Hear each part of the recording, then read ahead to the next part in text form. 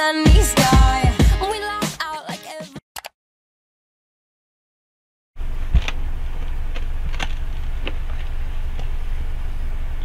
guys, it's me, it's Casey, and welcome back to my channel.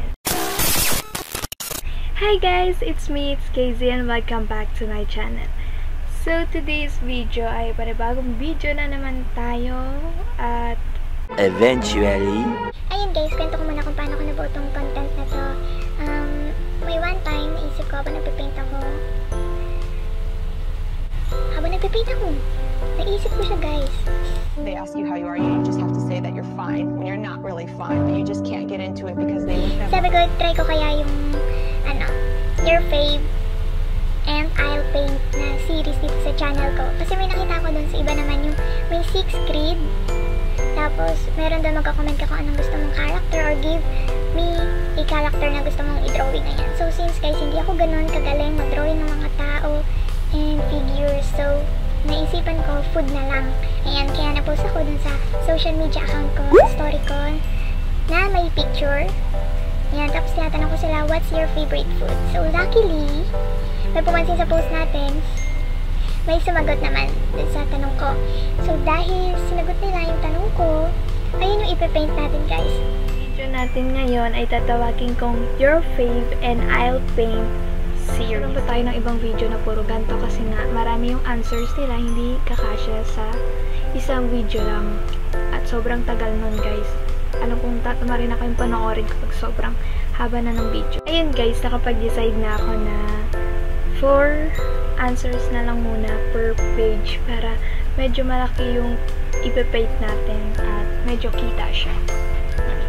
Nilista ko yung mga answers nila. Medyo mahirap, guys. Pero adya kasi challenge to para sa akin. Pero kinakabahan ako kasi baka hindi maging kamukha ng food na in-answer nila. Baka ma-disappoint sila, guys. So, ayun nga, ipapakita ko sa inyo yung mahiwaga akong sketchbook. gagawin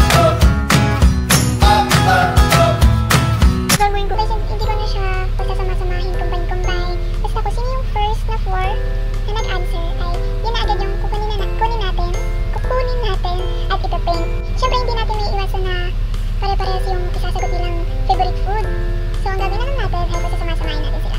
First na pumansin dun sa story ko ay si Sheila Milarpis. Hi Sheila, shout out sa'yo. At ang sabi niya favorite food niya ay tinola. Yan, number one na yan, tinola. At ang pangalawa naman ay si Romina de los Reyes. Hi Romina! Tapos, ang sabi naman yung favorite food niya ay donut. Yan. Second na natin ang donut. At ang pangatlo naman natin ay si guys. Magaganda yung mga drawing niya. Visit niyo yung FB niya tapos nagme-makeup rin siya. At ang sabi niyong favorite food niya ay fried chicken. Number 3. At ang last one natin for this video ay si Andrea May Parenya. Yan. Kiana De La Cruz Ignacio. Hi! Tapos si Angel May Losaren. Hi Angel! Ayan. At ang favorite food nilang tatlo ay carbonara. Ayan. Pinagsama ko na lang sila guys. Shout out dyan sa tatlong yan. At nabuo na natin yung first four food sa page natin. Ayan. At yun ay tinola, donut, fried chicken, and carbonara. So, yun muna ang ipipaint natin for this video at susunod na yung ibang answer. So without further ado, let's get started.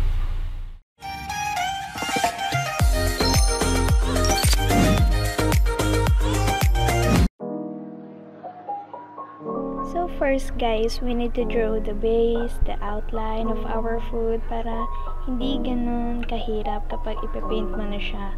Then hindi rin naman kailangan na perfect yung pagkakadrawing mo kasi naka-base pa rin yun sa pagpipaint mo ng food.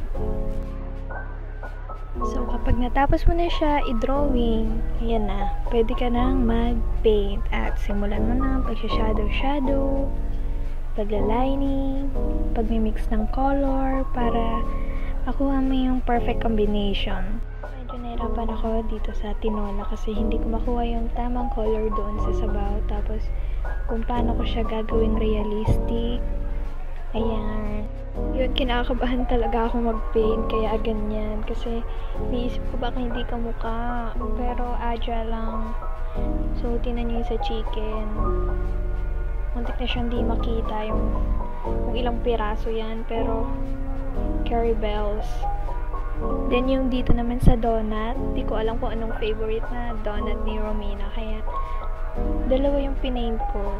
Isa sa Krispy Kreme, isa sa Jayco. Sana magmukha siyang product nung dalawang yun.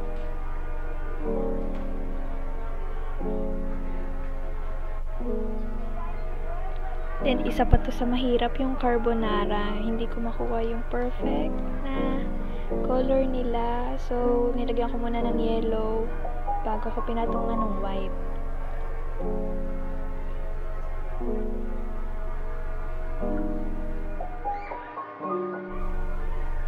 So, onting mga details na lang at matatapos ko na siya. So, sana magustuhan nila yung paint ko.